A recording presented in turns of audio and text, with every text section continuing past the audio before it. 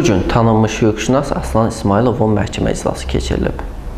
Məhkəmə necə qiymətləndirir? Mən əlbəttə ki, başqa qərar gözləmirdim. Ona görə ki, yadınızdadırsa da əvvəlki e, yazılarımda da qeyd etmişdim ki, apellyasiya məhkəmənin sədri İman Nağıyevdir. İman Nağıyev nəinki Ədliyyə Naziri Fikrət Məmmədovun, onun oğlu Fariz Məmmədov gedib o qapıda qarşılayıb gəlir. Və onun sözü İman Nağıyev üçün əmrdir. Ona görə indi Fikrət Məmmədovun əleyhinə danışan bir şəxs haqqında İman Nağıyevin bu kontoru başqa qərar çıxarda da bilməzdi. Amma buna baxmayaraq mən hüququndan istifadə edib kassasiya şikayəti verəcəm və bir daha təkrar edirəm. Bu gün Əli Həsənov, Fikrət Məmmədov, Zakir Qaralov əgər hesab edirlər ki, cinayət işləri qaldırmaqla, məni həbslə hədələməklə tutduğum yoldan döndərəcəklər, çox səhv eləyirlər.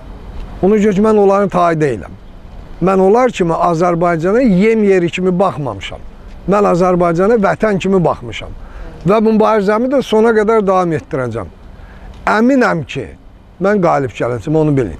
Ona görə ki, mən hələ 60 yaşını keçmiş bir insan kimi nahaqqın uzun müddət ayaq yerdiyini görməmişəm. Bunların hər biri çirkab içində, hər biri bu ölkəni zəlil salan bir şəxslərdir. Ona görə mənim onların qarşısına qaçmaq fikrim yoxdur. Ondan başqa da mən cavanlıqdan bunları tanıyıram. Və onların kim nəçi olduğunu bilirəm. Sadəcə mən çox təəssüf edirəm ki, onlar hələ də başa düşmədilər ki, Aslan İsmailovu qorxutmaq olmaz. Bunların məqsədi məni qorxudub, sosial şəbəkələrdən çəkindirməkdir.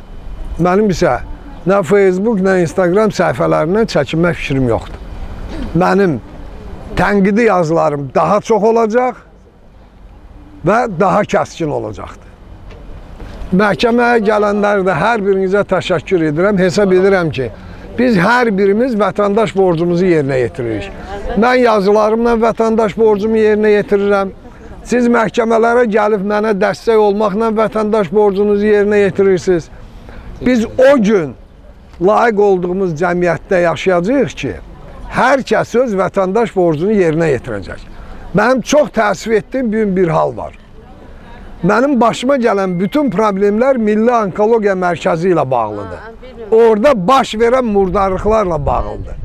Və bu gün rəsmi statistikaya görə 50 mindən artıq xərçəng xəstəsi var. Və burada bir nəfər həmin o 50 minin nümayəndəsini görməmişəm. Və buna mən çox təəssüf edirəm. Ona görə ki, mənim mübarizəm onlara görədir. Onların 50 mini yox, 5 mini buraya gəlsə, biz əmin eləyirəm ki, nə bu iş olar, nə Milli Onkologiya Mərkəzindəki o özbaşınaqlar ola bilər.